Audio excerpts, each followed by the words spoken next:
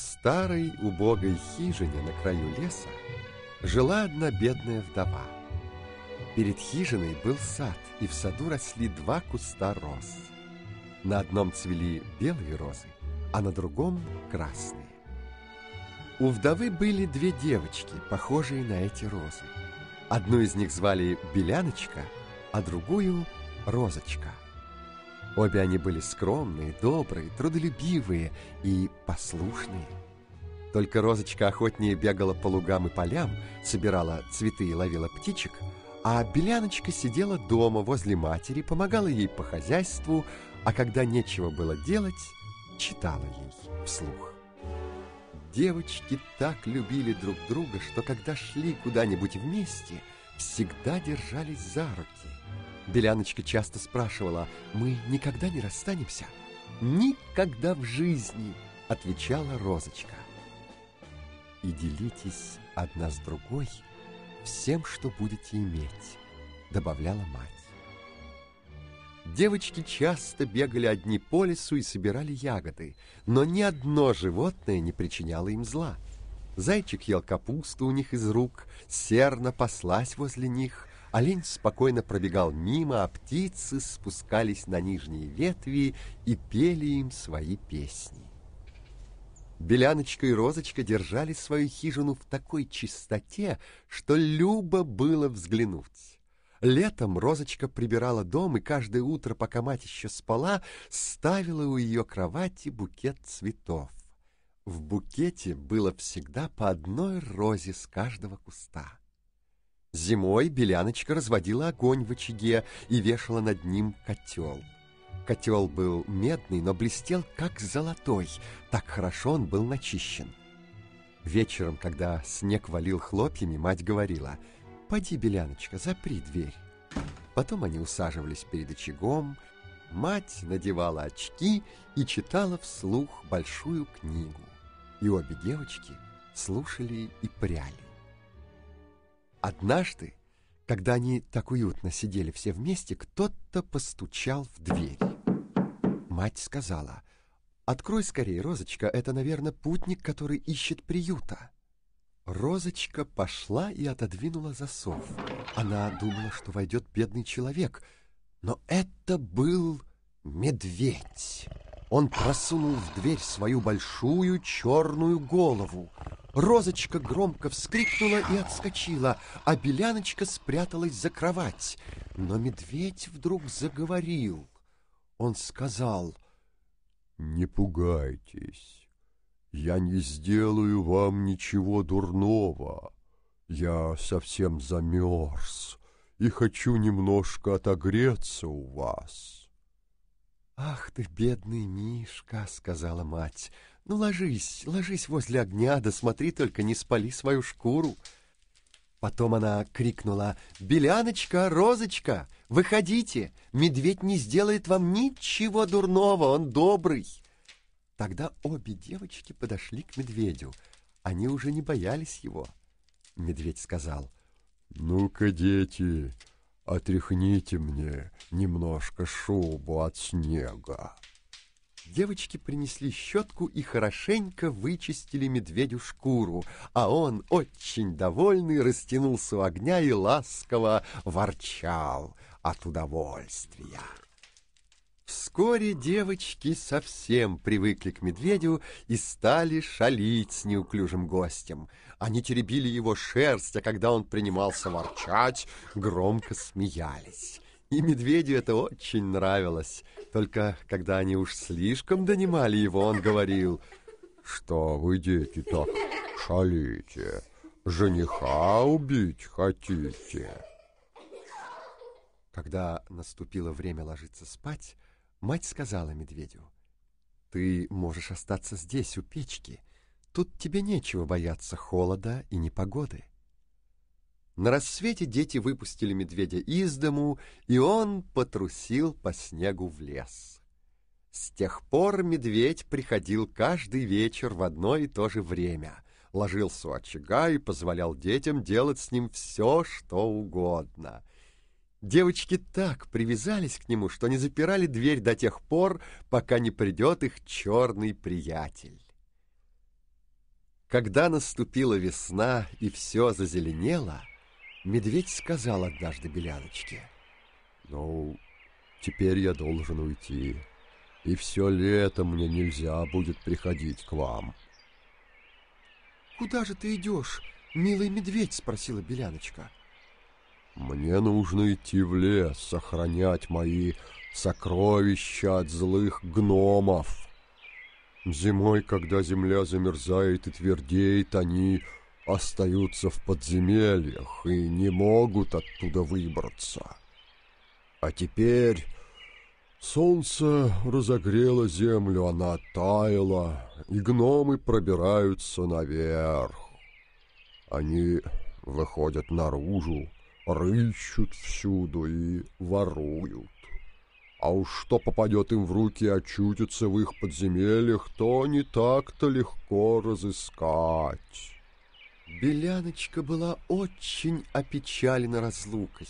Она отодвинула засов, чтобы выпустить медведя, и когда медведь протискивался в дверь, он зацепился за дверной крючок и вырвал себе клок шкуры. И Беляночке показалось, что из-под шкуры блеснуло золото. А медведь поспешно убежал и скрылся за деревьями.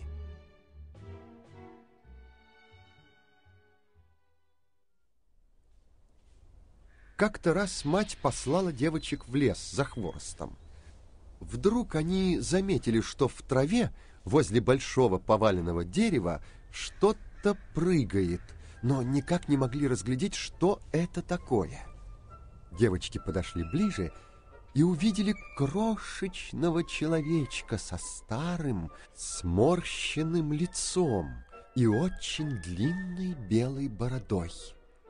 Конец его бороды застрял в щели дерева, и гном прыгал вокруг, как собачка на привязи, не зная, как ему освободиться. Он вытаращил на девочек свои красные, как раскаленные уголья, глаза и закричал — чего вы там стоите? Чего стоите? Разве вы не можете подойти, подойти и помочь мне? Что же с тобой случилось, человечек? Спросила Розочка. Эх, глупая, любопытная гусыня, ответил гном. Я хотел расколоть дерево, чтобы нарубить дров для кухни. На толстых поленьях та капелька еды, которая нужна мне, сразу пригорает. Ведь мы не едим столько, сколько вы, грубый жадный народ. Я уже вогнал клин, и все было бы хорошо, но проклятая деревяшка оказалась слишком гладкой и выскочила. И щель так быстро закрылась, что я не успел вытащить свою прекрасную белую бороду. И вот она застряла тут, и я не могу уйти. А, а вы, вы еще смеетесь. Фу, какие вы противные. Девочки старались изо всех сил, но не могли вытащить бороду. «Я сбегаю, позову людей», — сказала Розочка. «Ты с ума сошла, овечья голова!» — завизжал гном. «Зачем звать еще людей? Мне и вас-то двоих слишком много. Хе, разве вы не можете придумать ничего лучше?» «Потерпи немножко», — сказала Беляночка. «Я уже придумала». Она вынула из кармана ножницы и обрезала гному кончик бороды. Как только гном почувствовал себя свободным, он схватил свой мешок, полный золота, который лежал между корнями дерева, взвалил его на плечи и ушел, бормоча. Хм, «Неотесанный народ! Отрезать кусок такой прекрасной бороды, такой бороды! Ух, чтоб вас!» В другой раз Беляночка и Розочка пошли ловить рыбу. Подойдя к ручью, они увидели, что по берегу у самой воды скачет что-то вроде большого кузнечика. Девочки подбежали ближе и узнали гнома. «Куда ты скачешь?» — спросила Розочка. «Неужели ты хочешь броситься в воду?»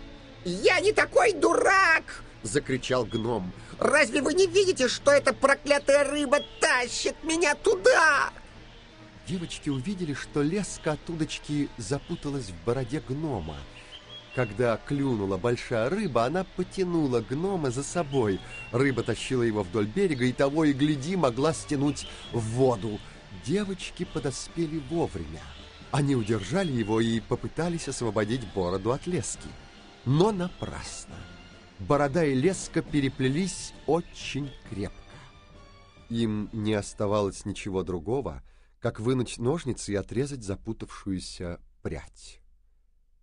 Когда гном увидел это, он закричал на них. «Что это за манера, глупые вы девчонки, уродовать человеку лицо? Мало того, что вы обкромсали мне бороду снизу, теперь вы выстригли ее лучшую часть. М -м, лучшую часть. Я не могу показаться нашим на глаза. Ах, чтоб у вас подметки отвалились, когда вам придется бежать». Потом он достал мешок с жемчугом, который был спрятан в тростнике, и, не говоря больше ни слова, потащил его прочь и исчез за камнем. Случилось так, что вскоре после этого мать попросила Беляночку и Розочку сходить в город, купить ниток, иголок, шнурков и лент. Девочки шли лугом. Вдруг они увидели большую птицу, которая медленно кружила над ними в воздухе и опускалась все ниже и ниже. Наконец она опустилась недалеко от них возле огромного камня. Вслед за этим девочки услышали пронзительный жалобный крик. Они подбежали и с ужасом увидели, что орел схватил их старого знакомого, гнома, и хочет унести его. Добрые девочки сейчас же ухватились за человечка и до тех пор боролись с орлом, пока он не бросил свою добычу.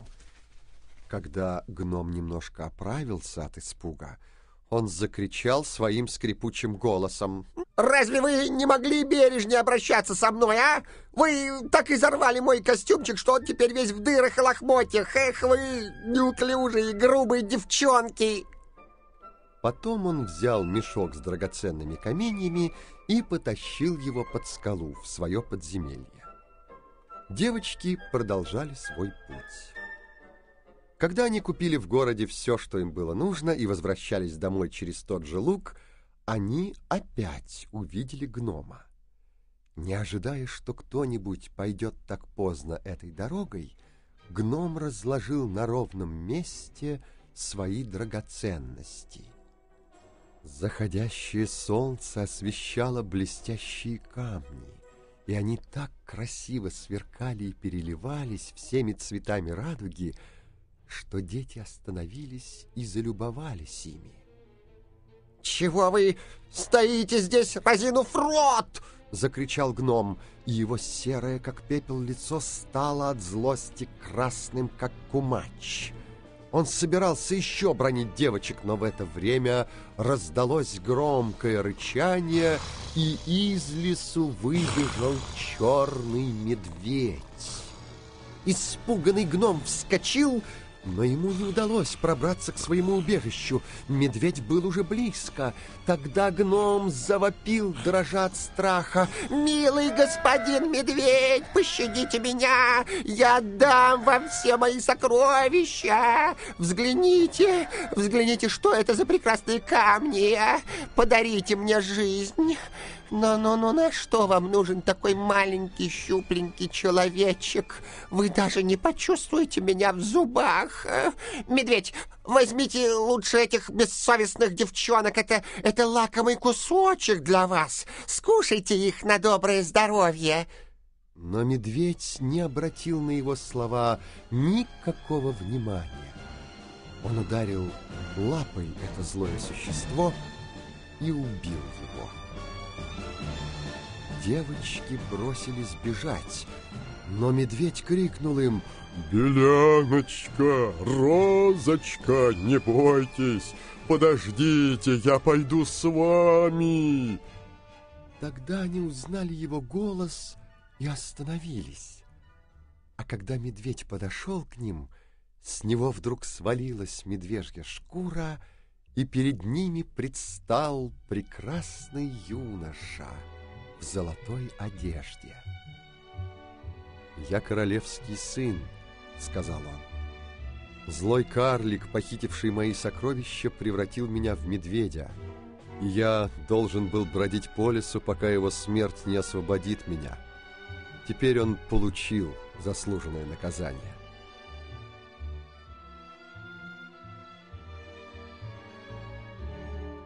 Вскоре Беляночка вышла замуж за королевича, а Розочка за его брата. Старая мать жила еще много лет спокойно и счастливо у своих дочерей.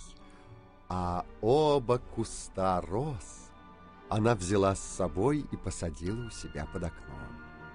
И каждый год на них распускались прекрасные цветы, белые и красные.